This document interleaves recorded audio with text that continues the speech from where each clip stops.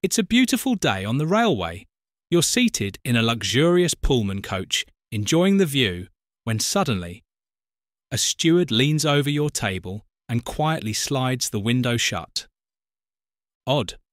A moment later, it happens on the other side. What's going on? A few seconds later, it feels like the train has plunged into a tropical storm. Water lashes the windows, and a passenger behind you screams in shock as droplets splash onto her expensive dress. But it's not a storm, it's something much more dramatic. What you just experienced? That's a tender overflow, a spectacular moment in railway history when steam locomotives used water troughs to refill on the move. A small miscalculation by the fireman, and passengers in the front carriages got an unexpected soaking. For railway photographers, this was a moment of pure gold, a rare and thrilling sight to capture. But for passengers, it was a very wet lesson in railway travel. In the days of steam, one challenge always remained how to keep a train moving for hundreds of miles without stopping for water.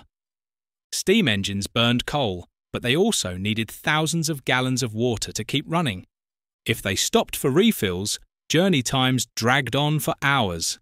That's when one brilliant engineer had an idea that would revolutionise railway travel forever.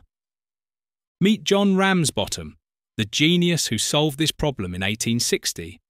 His idea instead of stopping, trains could scoop up water while still moving. Here's how it worked Long cast iron water troughs were placed between the tracks.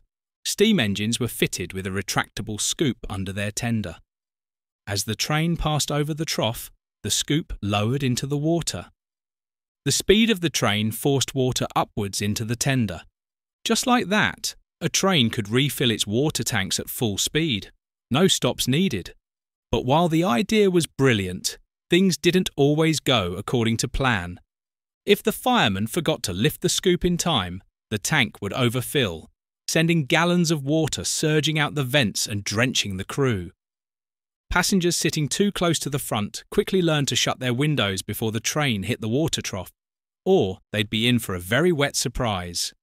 In one famous incident, two high speed trains passed each other over a water trough.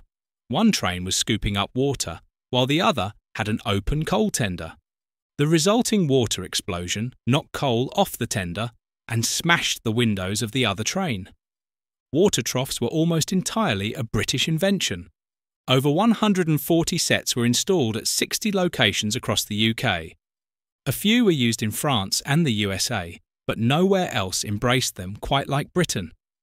They enabled record breaking non stop train runs, including the legendary London to Scotland express services.